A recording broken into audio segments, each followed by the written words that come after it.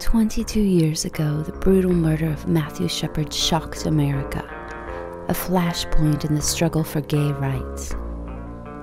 Overnight, the media reported a hate crime before police had investigated the real motives. The truth was far more complicated and dangerous.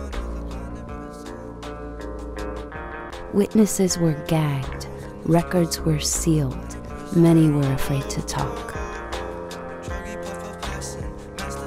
Award winning gay journalist Steve Jimenez spent two decades digging deep into Laramie, Wyoming. The story he found there is a gripping page turner. The Book of Matt, the real story of the murder of Matthew Shepard. Order your copy wherever books are sold.